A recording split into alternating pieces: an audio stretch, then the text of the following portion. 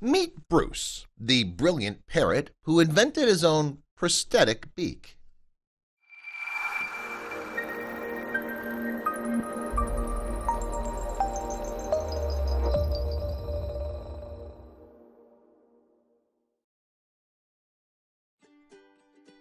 When life gives you lemons, you make lemonade. Unless you're Bruce the Parrot, then you make your own prosthetic beak. Willowbank Wildlife Reserve in New Zealand rescued Bruce when he was just a baby. He was already missing his upper beak, something they believe happened when he was caught in a trap. As serious as this type of injury is for a bird, Bruce has managed to find clever ways to accomplish all of his everyday tasks. That's partly because he's a species of parrot called a kea. These New Zealand natives are considered to be some of the most intelligent birds out there. And it's no wonder. They're the only animals, other than great apes, to demonstrate that they can weigh probabilities when making decisions. Despite their advanced intellect, researchers and scientists are stunned over the methods Bruce has devised to adapt to his disability. For example, he eats harder foods by pressing them against hard objects in order to soften them.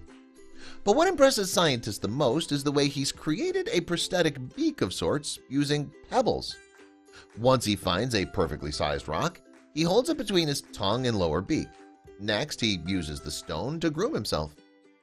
Bruce's invention is so novel that a study was conducted and published in the journal Scientific Reports in affiliation with the University of Auckland.